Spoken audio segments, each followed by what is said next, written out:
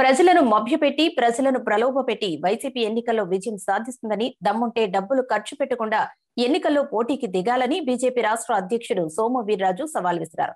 జగన్మోహన్ రెడ్డి పాలన పూర్తి అవినీతిమయంగా మారిందన్నారు. కరువు ప్రాంతాల్లో ఇంకా మంచినీటి సమస్య ప్రజలను పట్టి పీడిస్తుందని తెలిపారు.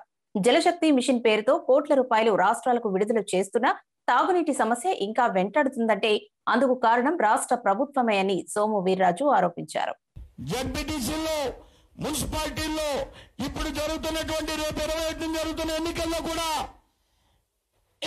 ప్రభుత్వం ఇదే ఆలోచనతో ముందుకు పెడుతుంది ప్రభుత్వానికి దమ్ముంటే ప్రభుత్వానికి ధైర్యం ఉంటే ఆ రాజశేఖర్ రెడ్డి జగన్మోహన్ రెడ్డి పేరుగా ఏ విధమైనటువంటి ప్రలోభాలు లేకుండా డబ్బులు ఇవ్వకుండా అధికార యంత్రాంగాన్ని వినియోగించకుండా ఎన్నికలు చేయమని భారతీయ జనతా పార్టీ సవాల్ చేస్తుంది జగన్మోహన్ రెడ్డికి.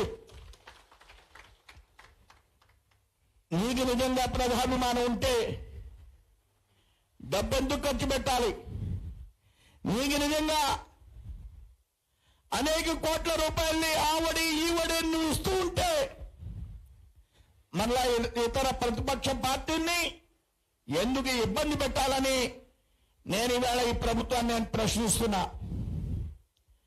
మీ అందరు కూడా నేను కొన్ని విషయాలు మీ ముందుంచడం కోసం ప్రయత్నం చేస్తాను. ఈ గోరంట్ల తాగడానికి మంచినీళ్ళు లేవు. గోరంట్లే కాదు మీ చుట్టుపక్కల ఉన్న చాలా గ్రామాలకు ఇదే పరిస్థితి ఉంటుందని నేను మీ అందరు కూడా తెలియజేస్తున్నా. చంద్రబాబు నాయుడు పరిపాలించాడు. తెలుగుదేశం ఇరవై నాలుగు సంవత్సరాలు పరిపాలించింది రాష్ట్రాన్ని. ఇప్పుడు జగన్మోహన్ రెడ్డి గారు పరిపాలిస్తున్నాడు. ఇప్పటికీ తాగడానికి నీళ్ళు లేదు. నరేంద్ర మోడీ భారతదేశంలో నగరాలకి గ్రామాలకి జలశక్తి మిషన్ అని జలశక్తి మిషన్ అని ప్రతి గ్రామానికి కూడా మనందరూ కూడా కుళాయిలు వేయమని రాష్ట్ర ప్రభుత్వానికి ఐదు వేల కోట్ల రూపాయలను ఆల్రెడీ మంజూరు చేసి రెండు వేల కోట్ల రూపాయలు ఈ రెండు సంవత్సరాల్లో ఈ రాష్ట్ర ప్రభుత్వానికి ఇవ్వడం జరిగింది.